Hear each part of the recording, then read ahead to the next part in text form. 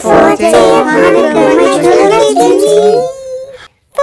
calling birds. Wait, birds have cell phones now? Yeah, three French hens. Two turtle doves. A partridge in a pear tree.